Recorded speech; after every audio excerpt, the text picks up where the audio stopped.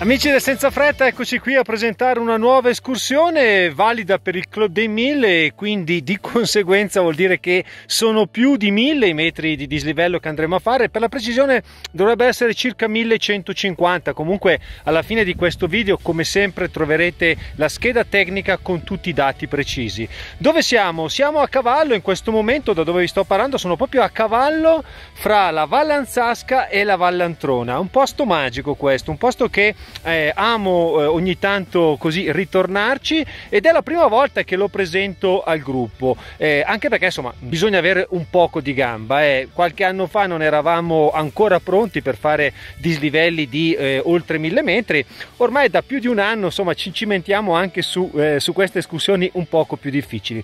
Questa è un'escursione io dico veramente di, di, ampio respiro per, per, la, per la varietà anche delle, dei paesaggi che vediamo perché passiamo da un paesaggio tra virgolette urbano come potrebbe essere all'inizio quando eh, partiremo proprio dalla bella Castiglione per poi eh, raggiungere Yelmala, da lì a Drocala e poi da lì eh, una serie infinita di alpeggi. Proprio per questo l'ho chiamato 13 alpeggi e una colma, così proprio da dare l'idea di quello che andremo a vedere, un giro ad anello e quando si arriverà qui, appunto provenendo dalla Vallanzasca, eh, c'è questa sella, la colma, così viene chiamata, che è una vera e propria sella che divide la Vallanzasca dalla Vallantrona. Adesso anzi ve la faccio vedere anche perché perché siamo fortunati, pensate siamo a fine maggio, però come potete vedere le montagne portano ancora neve, eh? guardate quanta neve c'è ancora lì. Laggiù in fondo si vede bene la centrale de, dell'Enel e, e, poco più sopra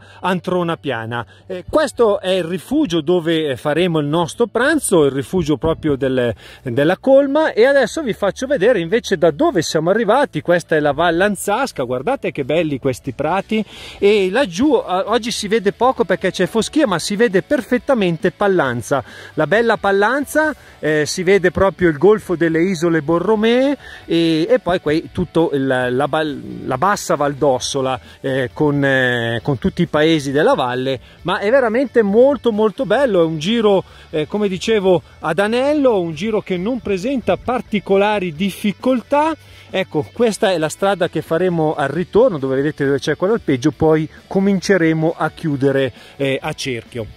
Diciamo che non è fra i giri più conosciuti sicuramente della Vallanzasca, anche perché insomma la Vallanzasca ha un piccolo problema, un gran bel piccolo problema che eh, in fondo alla Valanzasca c'è la splendida Macugnaga quindi eh, tante volte eh, si è portati ad andare appunto nella località di maggior richiamo la località più blasonata appunto in questo caso è eh, Macugnaga e i paesi che sono un po' prima diciamo che ne risentono un poco. Qui siamo proprio all'ingresso della Vallanzasca eh, perché Castiglione è a pochi minuti proprio dall'inizio della, della strada però ci dà la possibilità di avere innanzitutto delle bellissime viste perché appunto spaziamo dal lago alle, alle cime che vedete eh, qui dietro della, della, dell'Alta Vallantrona e, e, poi insomma ci dà la possibilità comunque di conoscere meglio il nostro fantastico territorio. Questo è sempre comunque il mio eh, obiettivo principale, è quello di portarvi a conoscere anche quella montagna meno conosciuta, ma non per questo meno bella. Se avete bisogno di altre informazioni, come sempre scrivetemi i numeri di WhatsApp che vedete qui sotto. WhatsApp è lo strumento che preferisco per tenermi in contatto con voi. Intanto io vi aspetto qui alla colma. Ciao!